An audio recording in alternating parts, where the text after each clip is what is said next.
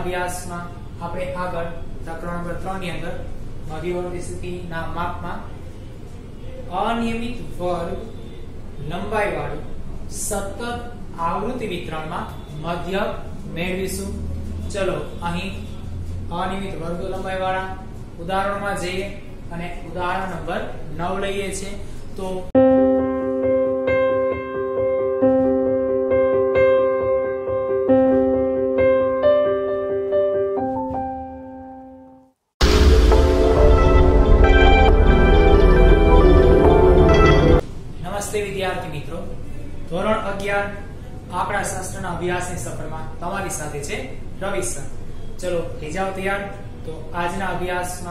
આપણે આગળ પ્રકરણ નંબર 3 ની અંદર મધ્યવર્તી સ્થિતિના માપમાં અનિયમિત વર્ગ લંબાઈ વાળું સતત આવૃત્તિ વિતરણમાં મધ્ય મેળવીશું.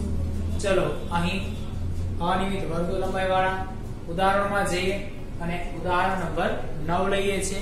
તો જો ટેક્સ્ટબુકની અંદર જે તમે પહેલેથી સાથે તૈયારી કરીને બેઠા છો, ચલો ઉદાહરણ નંબર 9 ટેક્સ્ટબુકની અંદર રકમ આવી કંઈક આપેલી છે.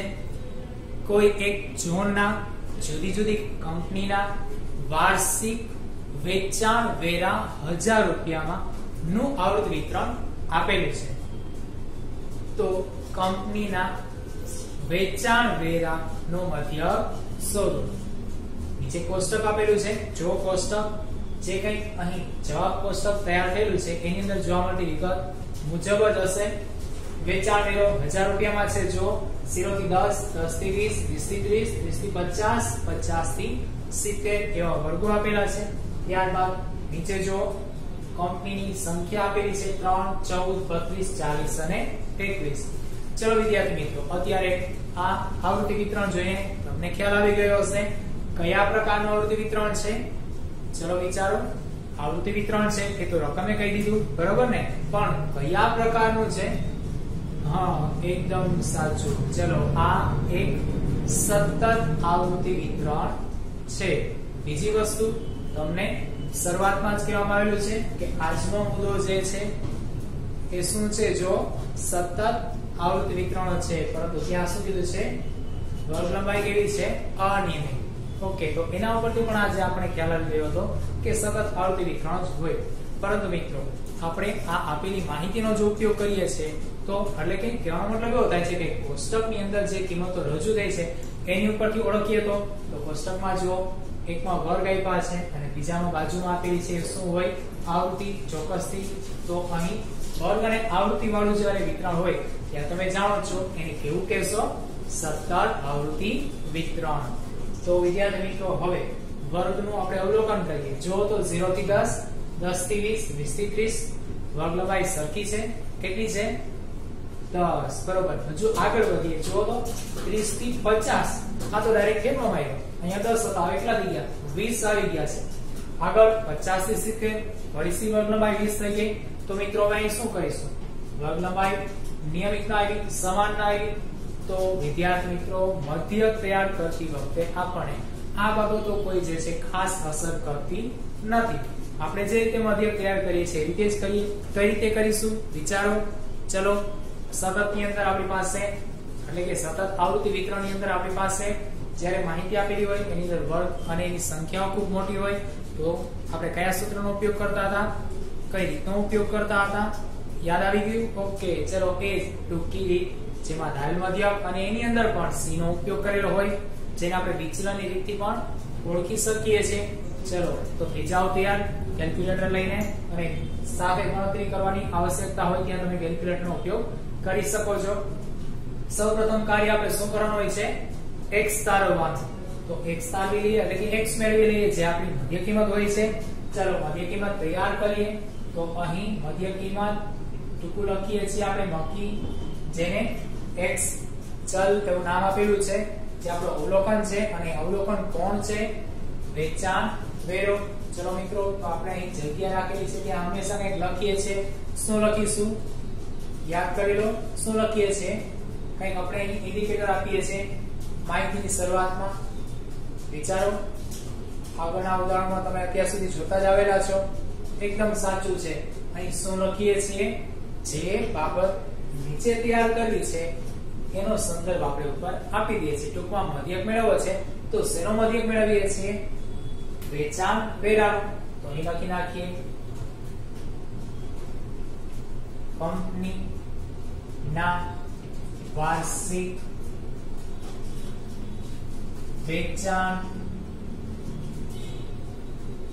વેરાનો મધ્ય મેળવતા હવે x ની અંદર પરત આવીએ છીએ. ચલો, x માં જો પેલો વર્ગ 0 થી 10 છે, પૂર્વમાં પણ જોયેલું હતું બે સીમા બિંદુઓ જે છે પદ અને ઉર્ધ્વ બેનો સરવાળો કરવાનો અને ત્યારબાદ બે વડે ભાગી નાખવાના છે. તો એ જ કાર્ય કરીએ 0 10 10 થશે. બે વડે ભાગો, કેટલા આવે છે? 5 બધી કિંમત પેલી મળી ગઈ છે. 5 ત્યારબાદ જો તો, વર્ગ લંબાઈ સમાન છે. હા, પરંતુ બધા જ વર્ગોમાં સમાન નથી. તો જેટલા વર્ગોમાં સમાન છે, એમાં આપણે એનો ઉપયોગ કરી શકીએ છીએ. જેમ કે 10 20 લઈએ 30 થાય છે, ભાગ્યા કરીએ 2 તો 15 આવે છે. એટલે જો અહીં મધ્ય કિંમતમાં તફાવત કેટલો થાય છે? 10 નો તો એના પછી પણ વર્ગ લંબાઈ 10 છે એના માટે 10 ઉમેરી દઈએ તો કેટલા આવશે? 25 ત્યારબાદ જો તો કેટલા છે? 30 50 80 ભાગ્યા 2 કરો 40 તો વિદ્યાર્થી મિત્રો, અહીં તફાવત કેટલો આવ્યો? 20 નો એટલે કે વર્ગનો કેટલી આવે છે? 20 ની આવે છે. ચલો અહીં 50 70 લઈએ.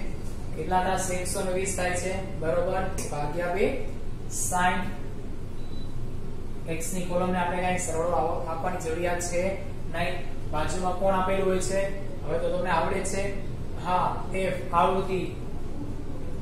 કંપની સંખ્યા છે કે આપણી આવૃત્તિ થશે. હવે અહીં આવૃત્તિ જે છે કઈ રીતે ઓળખી શકીએ? ચલો વિચારો. થોડીક વાર માટે પોઝ આપી દો, વિડીયોને, બરોબર ને? અને વિચારી લો, પછી પરત આવો. જો તો હવે આવૃત્તિ એફ એ કઈ રીતે મળે છે? જ્યારે વર્ગ કે અવલોકનની અંદર જે ચલ આપેલો છે, કોણ છે? વેચાણ વેરો એ વેચાણ વેરો જે છે, એ ફિક્સ રહેશે. એટલે કે એ તો એ જ રહેશે મૂલ્યમાં, પરંતુ એની સામે કોણ છે? તો કે કંપનીની સંખ્યા જે શું થાય છે? પુનરાવર્તિત થાય છે. એટલે કે જે પુનરાવર્તિત થતું હોય એ આપણું મૂલ્ય આવૃત્તિ દર્શાવે છે. જેમ કે ત્રણ કંપની, એનો વેરો કેટલો છે અહીં? પાંચ. એકમ છે હજાર રૂપિયા, તો પાંચ હજાર થશે સરેરાશ તરીકે લઈએ છીએ એટલા માટે મધ્ય કિંમત એક્સ ધારણ કરેલી છે. ચલો, આગળ જઈએ.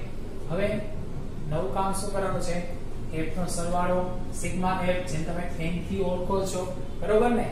ચલો, અહીં n, એના માટે આપણે સરવાળો લખી નાખીએ છીએ.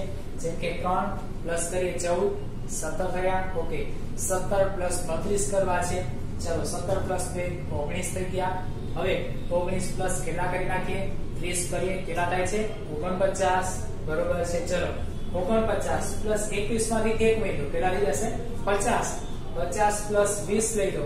70 70 પ્લસ 40 110 અથવા તમારી પાસે કેલ્ક્યુલેટર છે. એનાથી તમે સીધી ગણતરી કરી શકો એમ હતા. સારું, ચલો, હવે આગળ વધીએ છીએ. બાજુમાં કોલમ તૈયાર કરવાની. શું કરવાનું છે અહીંયા? જો તો ડી મેળવવાનું ને? હા, ચલો ડી મેળવીએ. તો અહીં v બરાબર સૂત્ર છે. કયું સૂત્ર છે? એકદમ નાનકડું x a બરોબર ભાગ્યા c. ઓકે ચલો, જ્યાં a બરાબર ધારેલો મધ્ય. ક્યાં? કઈ રીતે લેશું જો તો, અહીંયાથી લઉં ને. નહીં, તો x માંથી લેવાનો. હા, એકદમ સાચું x માંથી લેવાનો થશે. અને અત્યારે હું વચ્ચેની કિંમત છે જે 25 એ ધારું છું. બરાબર ને? અહીં વચ્ચેની કિંમત 25 ની હું ધારણા લઉં છું. કારણ શું? આપણે જાણીએ છીએ ગણતરીમાં સરળતા રહે છે. ચલો a હું 25 સારી લઉં. ત્યારબાદ c સર, એ તો વર્ગ લંબાઈ હોય લઈ લેવાની ને. આ લઈ લેવાની. જો તો વર્ગ લંબાઈ હોય લઈએ તો અહીં 10 અહીં 20 હવે કઈ લઈ માની તો તો ચલો x પાસે જઈએ. આવું કંઈ થાય ત્યારે. x ની બધી કિંમતને જો એના એકમના અંકને જો બધામાં 5 આપેલા છે. નીચેનામાં 0 આપેલા છે. તો હું એને 5 વડે ભાગી શકું છું? હા. તો 5 વડે નિશેષ ભાગી શકું છું. એને કારણે હવે હું c મારા 5 લાઈન તો સી કેટલા લો 5 હવે 5 25 ભાગ્યા c એટલે 5 કરવાના છે, બરોબર છે? તો 5 માંથી પચીસ પેલા બાદ કરો, કેટલા આવે છે? -20 આવ્યા. કેલ્ક્યુલેટર તો છે તમારી પાસે. -20 ભાગ્યા પાંચ કરો. ચલો, કઈ રીતે બન્યું હતું જેમ કે હું અહીં ટેસ્ટ કરી લઉં. પાંચ એ આપણા એક્સ છે. માઇનસ એ આપણા પચીસ ધારેલા છે. ભાગ્યા સી એ પાંચ છે. બરોબર ને? તો પાંચ માઇનસ પચીસ માઇનસ વીસ આવ્યા છે તો પાંચ છે. વીસ ભાગ્યા પાંચ કરો, કેટલા આવ્યા ચાર. કેવા આવ્યા માઇનસ માઇનસ ચાર. ઓકે, આ રીતે આપણે આગળ ગણતરીમાં જઈએ. તો અહીં પાંચ જગ્યાએ પંદર મૂકી દેવાના છે. હા, પંદર માઇનસ પચીસ કરો. માઇનસ દસ આવ્યા હા, ચલો, પાંચ વડે ભાગીએ માઇનસ બે મળે છે. આગળ પચીસમાંથી પચીસ ક્યાં જાય? ઝીરો, પછી પાંચ વડે ભાગવાની આવશ્યકતા નથી. તો શું ગયું? ઝીરો. નેક્સ્ટ હવે આવે છે ચાલીસ. ચલો ચાલીસમાંથી પચીસ બાદ કરીએ તો કેટલા આવ્યા? પંદર બીજા હા 5 વડે ભાગી નાખીએ તો કેટલા આવે છે? ત્રણ. ત્યારબાદ કેટલા આવે છે? સાઠ. ચલો, સાઠ જે છે એમાંથી પચીસ બાદ કરો તો કેટલા આવે છે? પાંત્રીસ લીધા ને? જો તો, હા કેલ્ક્યુલેટરની સ્ક્રીન પર પાંત્રીસ છે ને ભાગી નાખો તો કેટલા આવે છે? સાત. મિત્રો, હવે ટીના સરળની આપણે સૂત્રમાં આવશ્યકતા હોતી નથી, તો ન દર્શાવીએ તો ચાલે છે. ચલો ડેશ મૂકી દઉં છું. હવે આગળ. કઈ કોલમ આવશે? હા એફડી આવશે. એકદમ સાચું છે. એફ ગુણ્યા બી એટલે એફડી હવે એફડી કઈ રીતે મેળવી આપણે? તો અહીં 3 ગુણ્યા -4 14 ગુણ્યા -2 બરાબર ચાલે છે ને? સાચું છે. ચલો આપણે કિંમતો લઈએ અને દર્શાવીએ. તો જો તો 3 ગુણ્યા -4 માઇનસ 12 હવે 14 ગુણ્યા -2 કરું 14 28 બરોબર? પણ આ 28 કેવા લખવાના? માઇનસ પ્લસ માઇનસ રીતે 32 ગુણ્યા 0 ચલો 0 સાથે ગુણાકાર. તો અત્ર તત્ર સર્વત્ર, એકત્ર, અને શું કરી નાખે છે? 0 નેક્સ્ટ હવે શું કરીએ? 40 ગુણ્યા 3 લઈએ. 40 ગુણ્યા 3 કરો. 120 બરોબર છે? 21 ગુણ્યા 7 કરીએ. કેટલા આવે છે? 147 ચલો વિદ્યાર્થી મિત્રો પ્લસ પ્લસ નો સરવાળો માઇનસ માઇનસ નો સરવાળો એ પ્રમાણે આગળ વધીએ તોય ચાલે. અને એવું ન કરો તો કેસી છે જ. જો તો શું કરીએ? મોટી કિંમતોનો ઉપયોગ કરીએ. 147 લખો. લખાઈ ગયા. પ્લસ 120 કરો. થઈ ગયા. 267 આવ્યા. બરોબર છે. ચલો 267 એમાંથી આપણે શું કરીએ? 28 ને 12 ને 2 ને બાદ કરીએ. કેમ કે બે કેવા છે? માઇનસ છે. બરોબર છે. તો જો 28 ને બાર કેવા થાય છે? 40 થતા હશે. બરોબર ને? અઠ્યાવીસ, બે ના કો ત્રીસ, દસ દસ તો 40 તો અહીં હતા 267 બરોબર છે? એમાંથી 40 બાદ કરવાના છે. કેટલા આવ્યા? 227 એકદમ સાચું. સિગ્મા એફટી કેટલા આવી ગયા? 227 એ પણ કેવા આવ્યા? પ્લસ. તો મિત્રો, અત્યારે કોષ્ટકની અંદર આપણને જરૂરી બધી કિંમતો તૈયાર છે. તો હવે શું કરીએ છીએ? સૂત્ર મૂકીએ અને સૂત્રમાં કિંમત લઈ જઈએ. કઈ કિંમત લઈ જવાની છે? એકવાર પુનરાવર્તિત કરી નાખીએ. તો અહીં n 110 સૂત્રમાં ઉપયોગમાં લેશું. એ 25 બાદ કરેલા છે. સૂત્રમાં શું કરવાના? બરોબર, ઉમેરવાના. ઊંધું કરવાનું. સી 5 અહીંયા ભાગેલા છે. સૂત્રમાં શું કરીએ? ગુણાકાર. ચલો નેક્સ્ટ અને અહીં આપેલા છે સિગ્મા એફડી 227 કે આપણે સૂત્રમાં લઈ જઈએ છીએ. કેવા મૂકીએ તો મધ્ય ક્રિયા કરતી વખતે આપણે લખીએ છીએ મધ્યક મધ્યક x1 બરાબર. ચલો, સૂત્ર શું છે? a પ્લસ સિગ્મા fd છેદમાં n અને ગુણ્યા c ચલો સૂત્રમાં કિંમત લઈએ, એ કેટલા છે આપણી પાસે? 25 મૂકી દઈએ. ત્યારબાદ સિગ્મા એફડી કેટલા છે? 227 ચલો છેદમાં n કેટલા છે? 110 ગુણ્યા સી. કેટલા લીધા હતા? 5 સાદું 25 ને પેલા કેમનો રહેવા દઈએ? આગળના સ્ટેપમાં લઈ જઈએ તો દસ. હવે અંશમાં જુઓ તો 227 ગુણ્યા પાંચ છે ને, તો 227 ગુણ્યા પાંચ કરો છે, કેટલા આવે છે કેલ્ક્યુલેટરમાં જો 1135 થયા કે નહીં? ચેક કરો તો કઈ રીતે ભાઈના પાંચ સત્તા 35 બરાબર? ત્રણ વધી આવશે બે ને આપી દઈએ.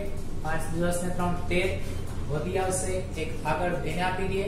તો પાંચ દસ ને 11 આવી ગયા 1135 અંશમાં ગુણાકાર 1135 કઈ રીતે મેળ્યા છે? 227 ગુણ્યા પાંચ લીધા. છેદમાં 110 ન લેવા દઈએ. ચલો વિદ્યાર્થી મિત્રો, આગળ સ્ટેપ કરીએ છીએ. 25 1135 ભાગ્યા કેટલા છે? 110 તો 1135 ભાગ્યા 110 કરો તો કેટલા આવે છે જો? 10.31 82 આવે છે કે નહીં આવું કંઈ બરોબર જો તો તો હવે ચાર ડિજિટ આવ્યા કરવું શું આમાં ચલો પેલા સ્ટેપ તો મૂકીએ તો 25 10 10.31 બ્યાસી હવે સર આની પહેલા તો આપણે બધી બબ્બે સ્થાનની કિંમતો દશાંશ ચિહ્ન પછી લેતા હતા અહીંયા કેમ ચાર દર્શાવી ચલો વિદ્યાર્થી મિત્રો સાદુરૂપ આપી દઈએ. શા માટે દર્શાવી? સૌપ્રથમ વસ્તુ એ કે મધ્યકની અંદર જે જવાબ આવશે એમાં વધુ ચોકસાઈ, વધુ નજીક જવા માટે, સ્પષ્ટ માપ લેવા માટે આપણે ચાર અંકનો દશાંશ ચિહ્ન પછી ઉપયોગ કરીશું. ઓકે? હવે અહીં 10.31 પછી જો ત્રીજું સ્થાન એમાં 8 આવતા હતા, એને કારણે અહીં 31 82 ચાર ડિજિટ કેલ્સના પૂરેપૂરા લખીને છે આપણે. પણ હવે વપરાશ કરીએ એટલે કે આ પદનો ઉપયોગ કરીએ ત્યારે આપણે શું કરીએ છીએ? બેઝ પદનો સમાવેશ લઈએ છીએ ગણતરીમાં. તો ત્રીજા પદની અંદર સંખ્યા જુઓ તો કઈ છે? 8 જે 5 કે 5 કરતા વધુ છે. આ તેને દૂર કરી દો.